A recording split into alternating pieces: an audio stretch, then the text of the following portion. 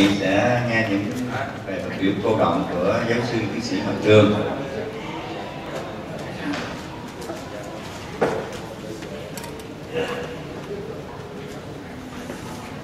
anh chị chị có mặt hôm nay trong hội nghị này tôi thấy là có nhiều đồng chí các đại tá quân đội, nhiều cán bộ cao cấp, về hương nhiều cái cảnh sát tất cả chúng ta đến đây với một cái cái lòng là chúng ta làm sao phát huy giữ vững cái truyền thống của dòng họ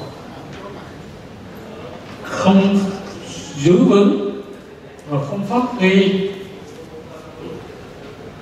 truyền thống dòng học thì làm sao phát triển phát huy truyền thống dân tộc được. Trong lúc bối cảnh quốc tế rất phức tạp, trong lúc cái hội nhập quốc tế đem lại những lợi ích vật chất lớn nhưng phá hủy đi những giá trị tinh thần cần học của mình.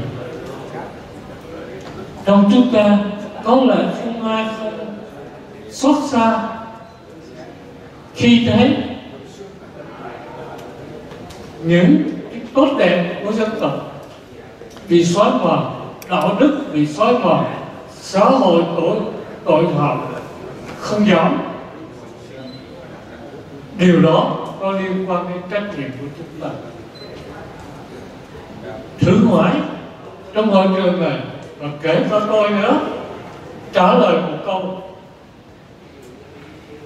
còn nó rõ là chúng ta đã làm hết sức để cho con cháu của chúng ta hiểu biết tổ tiên dòng họ chúng ta chưa.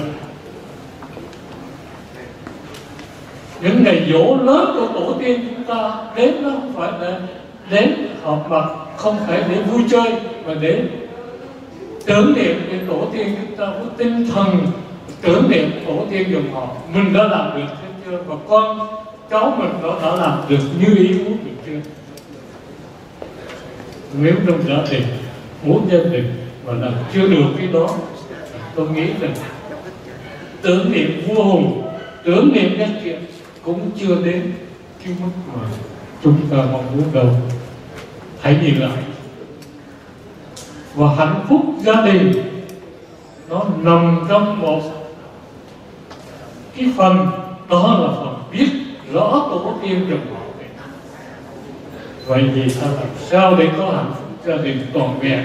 Theo cái kiểu người Việt Nam, chứ không phải theo kiểu của châu Âu một điểm nữa, tôi mong rằng viện đồng họ và câu lạc bộ nên có những cuộc gặp mặt như hôm nay nhiều hơn, để mỗi dòng họ có thể nói nhiều hơn về công việc làm dòng họ của mình. Và mong rằng các bậc ngồi đây, có mặt mà làm sao con cháu mình cũng đến nghe còn mỗi dòng họ nói cho hết những việc mình làm. Đó là việc thứ nhất. Việc thứ hai là mong lịch viện lịch sử dòng họ. Nghiên cứu kỹ cái nghị quyết 15 của Trung ương ban hành ngày 1 tháng 6 năm 2012 của Ban chấp hành Trung ương Đảng, có tiêu đề là một số vấn đề chính sách xã hội giai đoạn 2012 đến 2020 phải thấy rằng phải nhận thức là công việc nghiên cứu dòng họ chúng ta vừa mang tính xã hội, vừa mang tính tâm linh. Thiền liêng và nó sẽ nằm trong cái mục tiêu của đảng đề ra cho đến ngày 2020 về vấn đề chính sách xã hội. Chúng ta phải vận dụng và nhắm vào cái thứ hai nữa là hội nghị trung ương đang bàn về vấn đề văn hóa. Văn hóa nhiều thứ lắm đó. nhiều cái thành tựu văn hóa ta là một văn hóa này nhưng trên lĩnh vực văn hóa dòng họ này còn nhiều khiếm khuyết thôi còn nhiều thứ khác và chính cái cái khuyết khuyết này nó chưa góp phần mạnh để ngăn chặn tội phạm xã hội suy đồi đạo đức.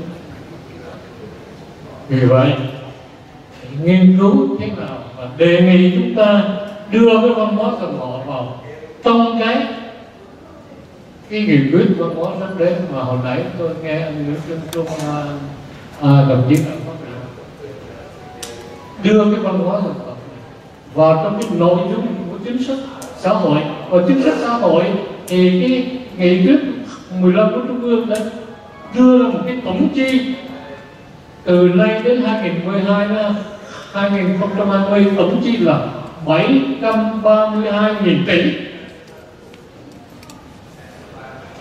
732.000 tỷ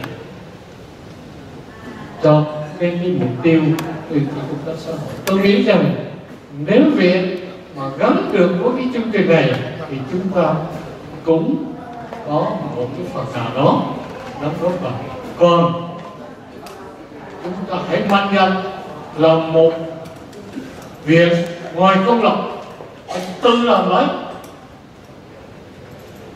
kinh phí, tự làm lấy nội dung và tinh thần của nó trên tinh thần nghiên cứu dòng họ để mà đoàn kết dòng họ nghiên cứu dòng họ để mà giữ vững và phát triển cái truyền thống dân tộc Việt Nam.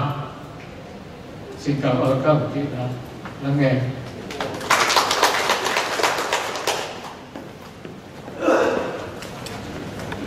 Lời phát biểu của giáo sư tiến sĩ mặt đường kết thúc cái uh, lễ ra mắt việc lịch sử dụng họ và không là của nhà khoa học.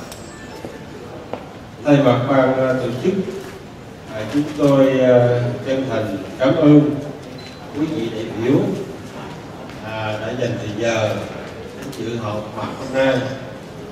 Trong đó à, có những phát biểu hết sức trí tình ủng hộ chúng tôi. Cho đến à, giờ phút này uh, uh, cũng là đã là thể hiện cái uh, nhiệt tình đó. Chúng tôi cảm ơn những uh, đồng chí à, đi đến muộn nhưng mà cũng uh, là gắn kết với chúng tôi. Ví dụ như uh, ông uh, trương thế quốc phó chủ tịch hội đồng họ trương việt nam có sự uh, tặng hoa của trung tâm nghiên cứu đô thị và phát triển của tiến sĩ ờ, cô tôn nữ quỳnh trân thầy đảng hoa của ờ, dòng họ vũ võ.